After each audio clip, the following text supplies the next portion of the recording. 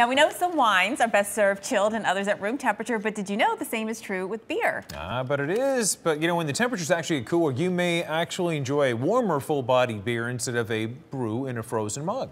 All right, so we're going to break it all down for you. Here to help us choose what type of beer you should drink at different temperatures is Brandon King of the Stout Brothers Beer Markets. Brandon, thank you so much for coming in. Thank you for having me. It smells great in here, doesn't it? I mean, this is a great aroma. Very uh, so where do we start? Um, we know different beers for different seasons, right?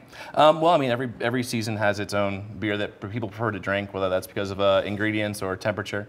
Um, but uh, uh, this season, right now, there's a lot of fresh hop uh, beers out there because Mm-hmm. a lot of uh, hops are, especially out of the north uh, northwest, are coming into season. So you'll have a lot fresher, greener uh, IPAs. Uh, is something that's focused as well as lots of pumpkin beers for the season. What is the framework in terms of, of the type of beer and the temperatures? I mean, I guess all, all beers obviously not the same. You would want to drink this ice cold, would you? No, no, you're correct. Uh, and a, kind of a, a rule of thumb I've always looked at is uh, how it's born is how it should be drank. So uh, beers such as, as these two here were um, fermented in at cold temperatures because that's the best temperature for that yeast to uh, uh, to produce at. As to where these are done at a warmer temperature, hence they're better to be drank at warmer temperatures. That's interesting. How it's born is how it should be drank. I love that. Yeah. Makes it a little easier. But then how? So you know, tell us how do we? Um, how, how do you know?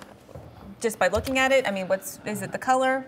Uh, well, no. Color can be very deceiving because you'll find there's, uh, I mean, there's dark lagers uh, that should be drank very cold, but yet they look like a stout um, because they were uh, they'll be a lot thinner. Uh, typically, the more the bigger flavors uh, that you have are that should be definitely drank warmer, uh, just because you're uh, uh, the more flavor needs more room to move around and jump around in your palate. Yeah, whoever the dude or dudette happened to be who created beer had to be a weird, weird person. I mean, just to have all these things come together. Hey, it's been a weirdness, we've had some really, really. weird. Oh yeah, we've had some really, really weird weather. How has the drought been affecting some of these brews?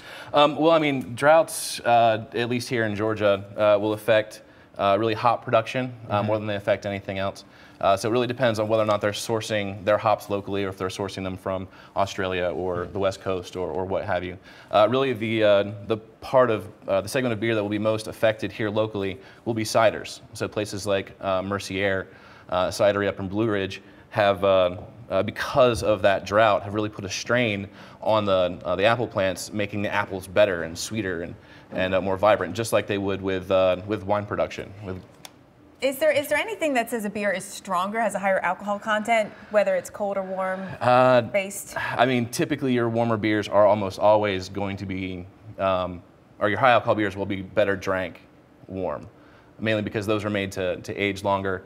Um, and they're also using a lot more ingredients and gonna have a lot more flavor. And sort of sip slowly and enjoy the complexity yes. of it. Yes, absolutely. There's Yeah. definitely some some beers out there that should be drank uh, akin to how you would drink a whiskey. Oh, very nice. Good times. So, Brandon, we're about to run out of time. Very quickly, Sure. the type of beers that we have here getting lined up. Uh, okay, so uh, we'll start here. This is uh, a, a very uh, ubiquitous, uh, large uh, Tailgate kind of beer. tailgate yeah. kind of beer um, uh, from our friends in St. Louis.